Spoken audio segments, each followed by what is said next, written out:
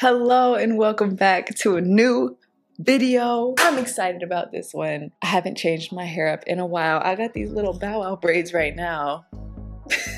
first things first, this video is in collaboration with Janet Collection. Thank y'all so much for reaching out to me, allowing me to get creative with a new hairstyle. So I chose these jumbo faux locks. I've had faux locks before, but these are shorter. These are about the actual length of my hair um, with shrinkage. The exact hair I got is Janet Collection's Nala Tress Jumbo Faux Locks. 12 inches in the color 2. The hair is light, bouncy, and it comes with this pre-made crochet loop, which is extremely helpful. They really hooked me up. Thank you. This is a lot. Let's get right to it. So starting at the nape of my neck, I begin parting, and I'm not going to talk too much about parting in this video, but I wanted to show y'all a trick I use for cleaner parts since I can't see the back of my head. Using my fingers, I feel for certain dips or bones that can act as a guide. So here I felt a bone behind my ear, and I'm using that to give my comb a sense of direction and endpoint on the other side. And voila! You see, it's not perfect, but it's doable. Now, sorry to jump to the end, but I wanted to give y'all a more visible section to show you exactly how I styled each piece. I brushed first to clear my hair of any tangles, and then I added a real dime size of olive oil cream. I focused that on my roots and my scalp, making sure it feels moisturized and hydrated. And then I added half a pump of this argan and macadamia oil. This oil is definitely thicker than your average, but it still penetrates and works well with other products. Last of the products, I added Mielle's Twisting Souffle. This has a thicker consistency to lock in the moisture, but I focused it on my ends because they were just dry as hell. One last brush through, and then I began braiding about a quarter of the way. If you don't know how to braid, I do have a tutorial, so check that out. Help me help you. Each one teach one.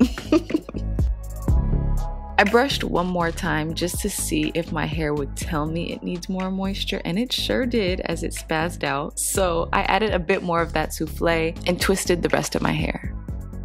I know this might be more than what others may do, but I want to make sure my hair isn't drying out while it's in this style. Once that's done, it's time to crochet. To grab the faux lock, gently slide the crochet tool against your scalp through your section. With the latch open, place the loop on the faux lock within the hook, secure it in place by closing the latch on the tool, and slide it back through the section. Once it's a bit of the way through, without widening the loop too much, I grabbed my hair plus the faux lock and pulled it all the way through the loop. I continued to gently pull on the lock to tighten that loop around the root of my hair.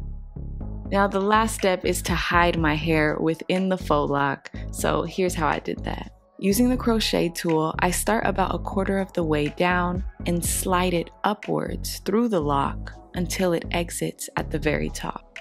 Once there, I place the lower end of my hair in the hook, close the latch, and wiggle it back through. Once I can grab it on the other side, I prefer to ditch the tool and gently pull it through, holding on to the lock so it doesn't stretch it out.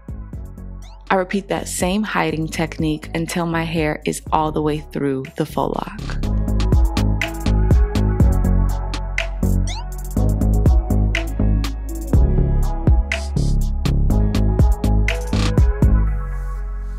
Now, as you can see, my hair is a bit longer than the faux lock, so here's how I hid it. Starting at the top with open hands, I gently press the lock back and forth while applying a little pressure between my hands.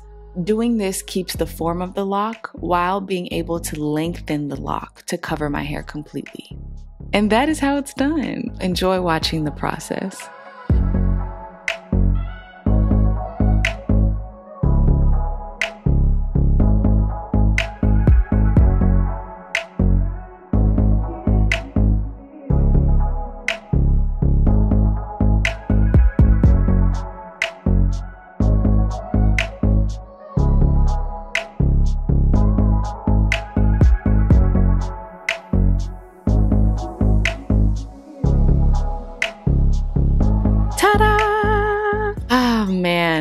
Took me way longer than I expected to do this hairstyle. Overall, I used three packs of hair. This style has added no extra weight to my head. It's extremely light. Even as I flipped it back and forth and messed with it, put it up in a hair tie, I didn't feel any extra pressure on my head, which is all I want. And I know some of y'all like when I end these little hairstyle videos with an actual makeup look. So, drum roll, please.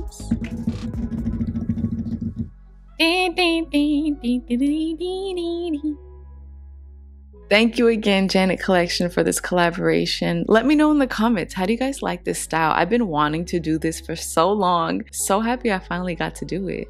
Thank you again for watching. Don't forget to comment, like, and subscribe to my channel. Much love to you all, and I'll see you in my next video. Peace out.